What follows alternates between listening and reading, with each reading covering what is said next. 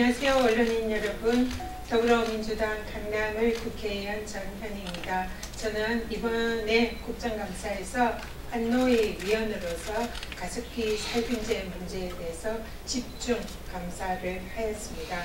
그동안 정부는 가습기 살균제에 대해서 가습기 살균제를 제대로 독성 물질로 관리 감독하지 못한 그런 원천적인 책임이 있음에도 불구하고 우리 가습기 살균제 피해자 문제가 시작된 지 7년이 지난 지금에도 제대로 된 피해자 대책과 구제 대책 세우지 못하고 있습니다. 그래서 이번에 국정감사에서 저는 정부에게 가습기 살균제 환자들의 피해자들에 대해서 어, 피해자들을 저는 전수조사하고 역학조사를 해서 피해자들의 인간관계를 규명하는 데 정부가 앞장서 줄 것을 촉구를 했고 그리고 현재 1250억에 달하는 피해자 구제 기금이 105억 정도 10%도 못 되는 금액만 지급된 것에 대해서 정부의 미온적인 대책에 대해서 문제점을 지적하고 전향적으로 피해자들에게 지급할 것을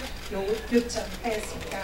그래서 오늘 국정감사에서 환경부에서는 어, 피해자 저주조사를 포함한 광범위한 역학조사를 시행하겠다고 답변을 했고 그리고 현재 미진하게 지급되고 있는 피해자 구제 기금을 전향적으로 적극적, 적극적으로 지급하겠다라는 답변을 하였습니다.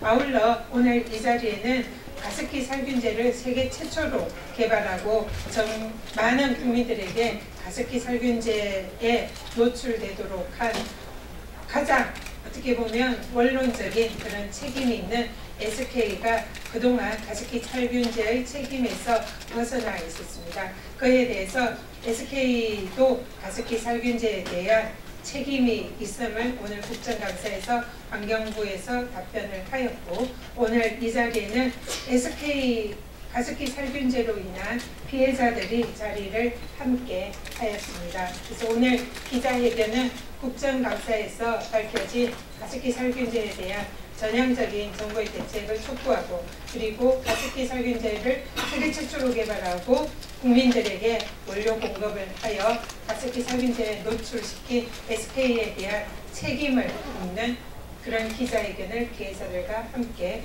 하도록 하겠습니다.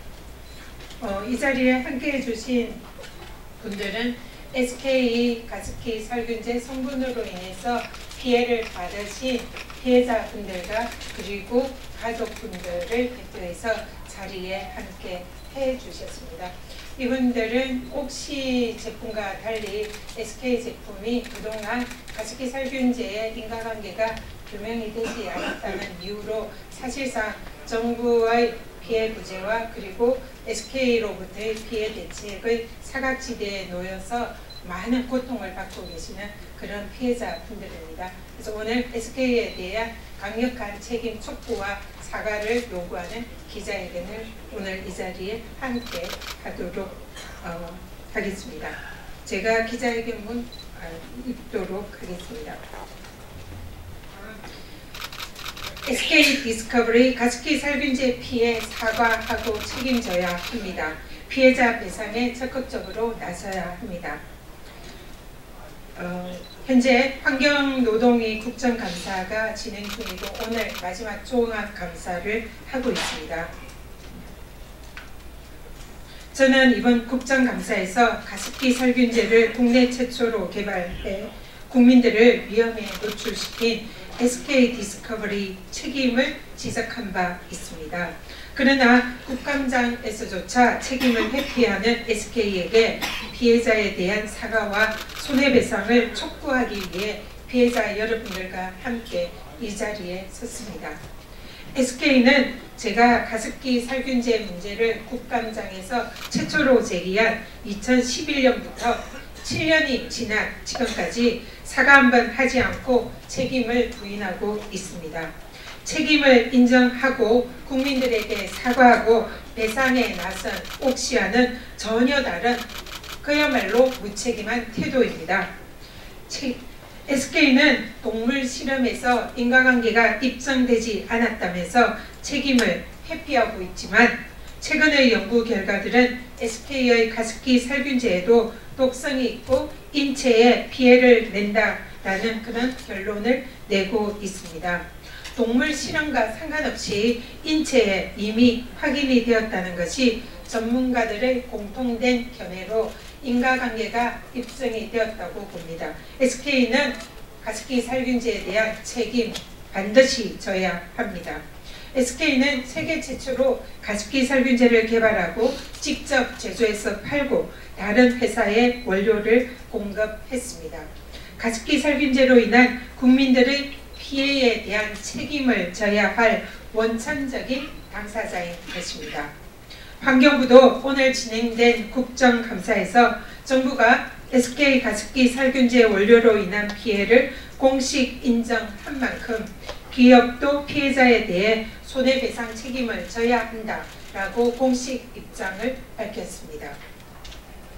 무책임한 태도를 보이고 있는 SK에 강력히 촉구합니다. 더 이상 책임을 외면하지 말고 피해자 여러분께 공식 사과하십시오. 그리고 피해자들에 대한 책임을 더 이상 회피하지 말고 피해 구제와 배상 절차에 적극적으로 나서기 바랍니다. SK가 피해자에게 공식적으로 사과하고 배상 책임을 질 때까지 저는 피해자들과 함께 SK에게 계속적으로 책임을 묻겠습니다. 네, 어, 오늘 자리에 함께 해주신 분들 중에 SK에 대한 법적 책임을 묻는 이런 어, 의견을 어, 하도록 하시겠습니다. 어, 자, 네. 먼저 하십시오. 그냥 네. 저는 박영숙 남편 되는 김태로입니다. 저희 집사람인 경우에는 지금 폐가 13%뿐이 안 남아 있습니다. 그래서 생명을 유지하는데 현재도 굉장히 힘들고 앞으로 얼마만큼 살는지는 저희도 모르고 있습니다. 저희는 SK에서 제조하고 애경 이마트 애경에서 이마트 PB 상품으로 만들어 쓴 상품을 바, 사용했었습니다. 그래서 SK는 이 피해자들한테 지금 죽어가는 우리 피해자들한테 SK는 사과하라! 사과하라! 사과하라! 사과하라! SK는 배상하라! 배상하라! 배상하라! 배상하라! 검찰은 즉시 형사처벌과 강력한 형사 처벌을 원한다! 원한다! 원한다! 원한다! 네.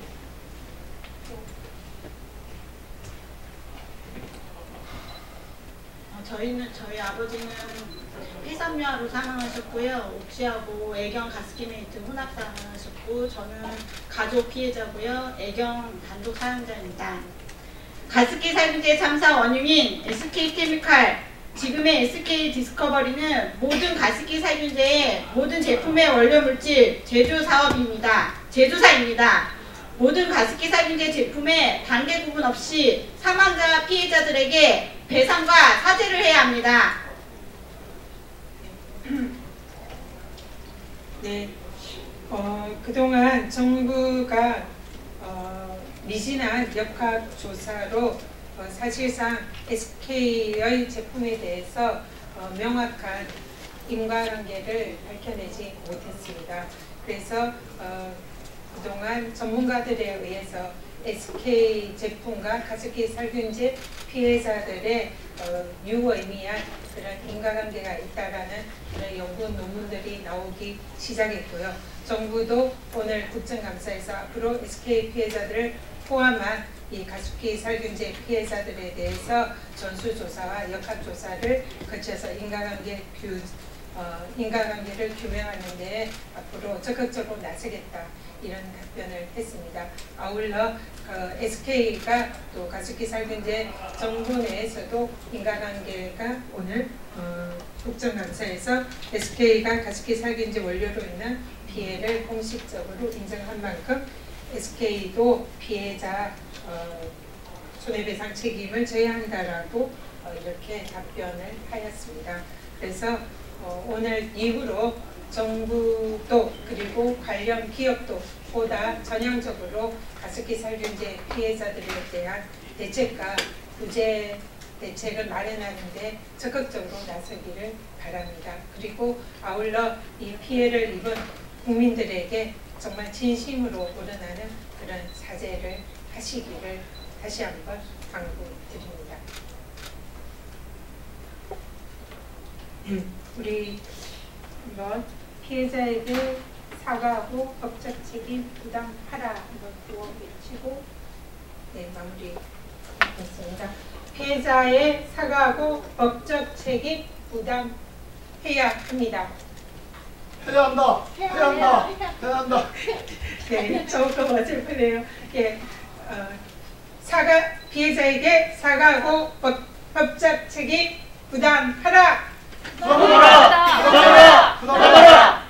네, 그거 맞았습니다. 죄송합니다. 네, 오늘 우리 함께하신 이 분들은 어, 피해자이고 가족들입니다. 정말 어, 10년 가까이 피눈물에 그리고 가정의 파탄 또 생계 파탄을 겪으면서도 피해자로 피해자 구제 대책도 받지 못하고 또 공식적인 사과도 받지 못한 정말 어, 가슴 아픈 사연들을 가진 그런 분들입니다. 부디 정부와 그리고 관련 기업이 전향적으로 이분들을 위한 대책 수립에 적극적으로 나서주기를 다시 한번 부탁드리고요. 우리 언론인 여러분들의 많은 관심 부탁드리겠습니다. 네, 이상으로 기자회견 마치도록 하겠습니다. 감사합니다.